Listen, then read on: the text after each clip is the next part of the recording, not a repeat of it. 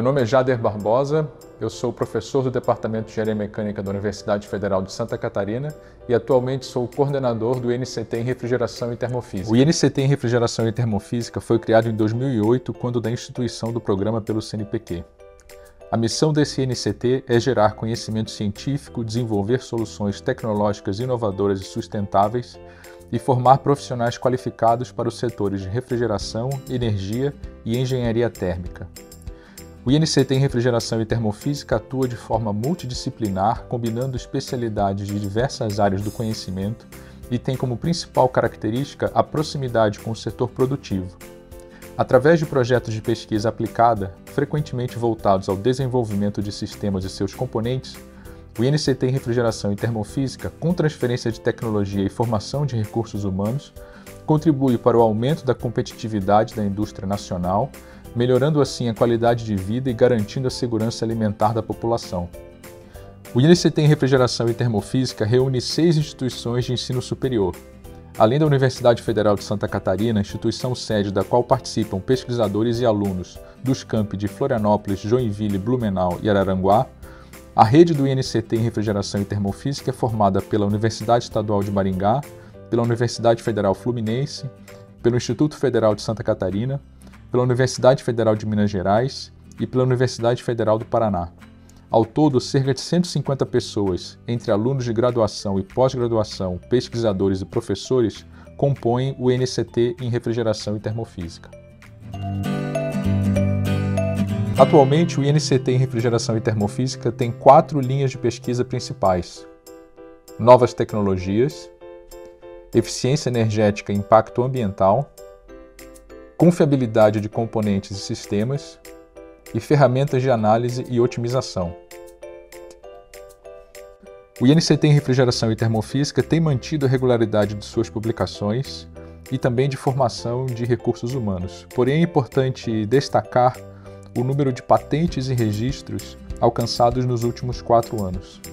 No seminário de avaliação dos INCTs de 2019, apesar de termos sido bem avaliados, fomos questionados acerca da nossa modesta geração de PI.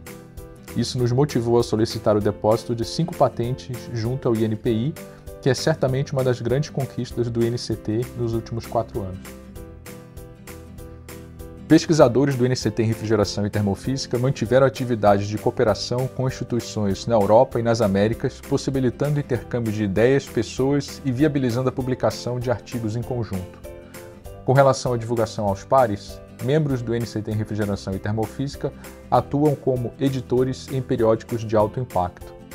E também na área de transferência de tecnologia, o NCT em Refrigeração e Termofísica mantém cooperações ativas com mais de 20 indústrias e empresas no setor de engenharia térmica e refrigeração.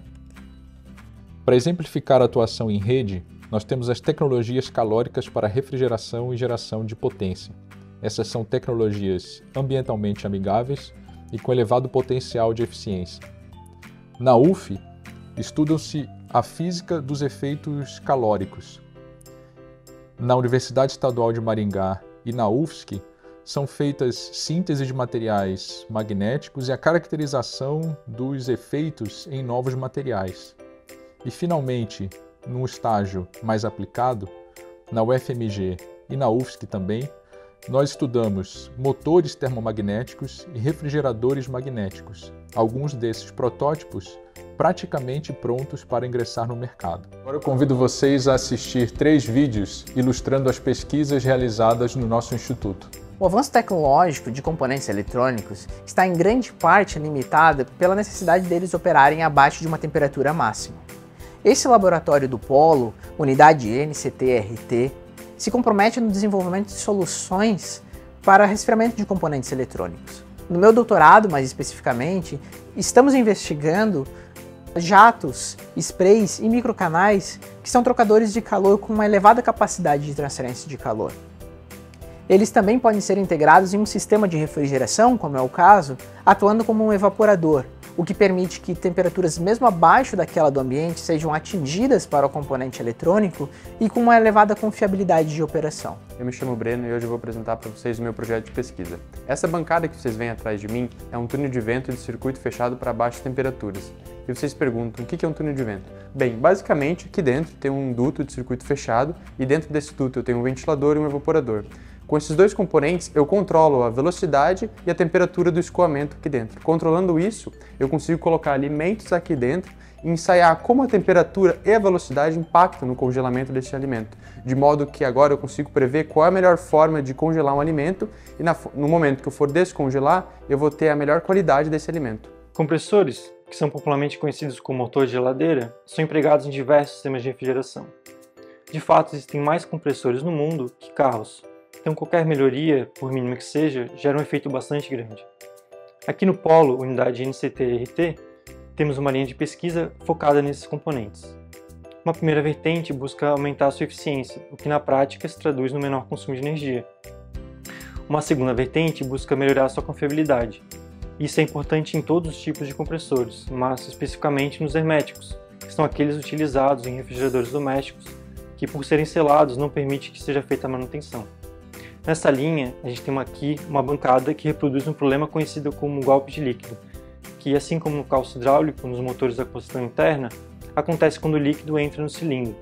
Isso pode gerar desde mau funcionamento até a quebra completa do componente.